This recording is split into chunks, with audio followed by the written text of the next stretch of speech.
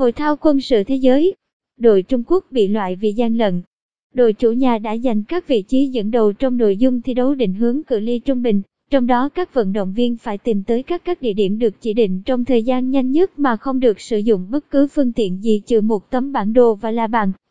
Các vận động viên nữ Trung Quốc lần lượt chiếm các vị trí 124 trong khi một đồng đội nam của họ giành vị trí Á quân. Nhưng ban tổ chức sau đó đã phát hiện ra những điểm bất thường trong nội dung thi của đội chủ nhà. Khán giả đã giúp đỡ họ bằng cách chỉ đường và một số dấu hiệu và con đường nhỏ đã được chuẩn bị cho họ, điều mà chỉ họ mới biết. Ủy ban định hướng quốc tế, IOF, ban tổ chức hội thao cho biết. Hội thao quân sự thế giới được tổ chức 4 năm một lần, quy tụ các vận động viên quân sự từ khắp nơi trên thế giới. Để chuẩn bị cho sự kiện năm nay, Trung Quốc đã xây dựng một làng cho vận động viên đủ sức chứa 10.000 binh sĩ, huấn luyện viên tham gia vào hội thao và quan chức khách mời diễn ra từ 18-27-10 tại thành phố Vũ Hán, tỉnh Hồ Bắc. Sự kiện khai mạc ngày 18 tháng 10, đặc biệt có Chủ tịch Tập Cận Bình tham dự.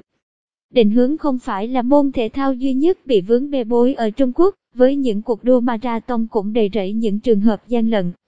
Theo AP, Bộ Quốc phòng Trung Quốc chưa đưa ra bình luận về hành vi gian lận của các quân nhân nước này. Trong một sự kiện vào tháng 3, một vận động viên nữ đã bị bắt gặp sử dụng xe đạp khi tham gia vào một giải chạy trong nước, trong khi vào tháng 11 năm 2018, hàng chục người tham gia giải chạy cự ly dài ở Thâm Quyến đã đi đường tắt.